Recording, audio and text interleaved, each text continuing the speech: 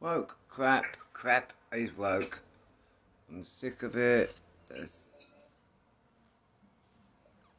Oh, oh, so it doesn't really need to be at the moment.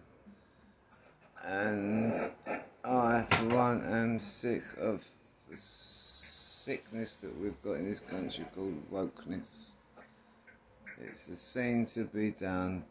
There's no care, there's no love in there, there's no humanity. We should be promoting people to be decent human beings, be a decent human being, like I try to be a decent human being on my life's journey. It ain't hard and it's the right thing to do, but no, of course not. Ukraine's in there, so there's a whole heap of polish in there for people. They can't wait, can they? Get it up there and they'll be, oh, look what they're doing, all the stuff they've given away. Oh, yeah, yeah how about that poor little family around the corner? The working poor ones, you know. The husband who's has to clean toilets. The wife who's just a cleaner, not just a cleaner, because it's an important job. Because without it, imagine the state the country would be in offices and everywhere that everyone goes. But no, we don't promote that, do we? We don't promote being a decent human being. What we promote is being woke, getting thumbs up, and really not giving a shit about your own. Well, I, for one, I'm sick of it. I'm sick of the wages. I'm sick of expected to turn 2002 money into 2022 money to be able to go and buy the goods because that's the money they're still paying from them times. But everything else has gone up. A chicken is now five pounds twenty-five. Well, it used to be a pound twenty. That's one small example. The other day I went and bought milk. The next day it had gone up by twenty pence. May not sound a lot, and it isn't, but it is when you're working, poor persons. Every penny counts. But I guarantee you, the person at the top of his Bentley, he don't have to worry about a single thing, does he? Whether or not petrol's gone up, or the cost of servicing his big ridiculous cars has gone up, or the fact that he's got seven mansions instead of six.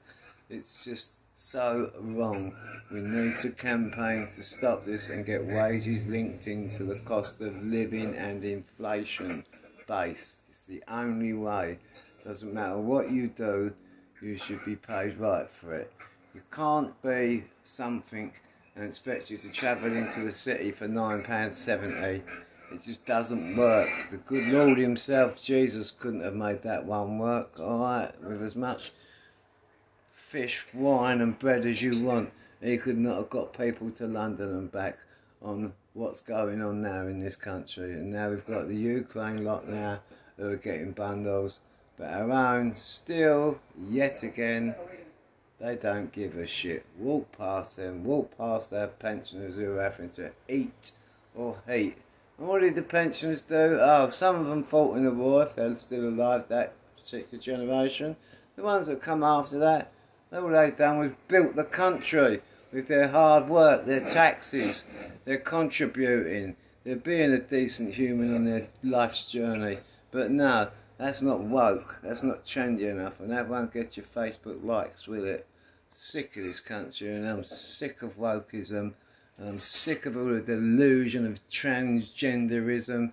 Like I said, Chubbs is a bull mastiff, but today he's woke up and he's identified himself as a Brussels sprout.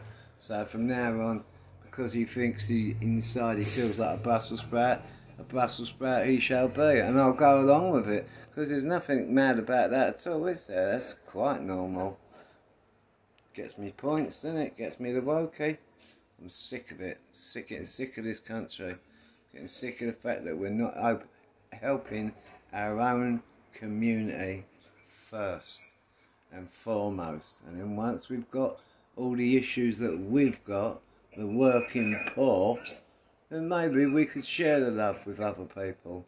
But no, we give everything away.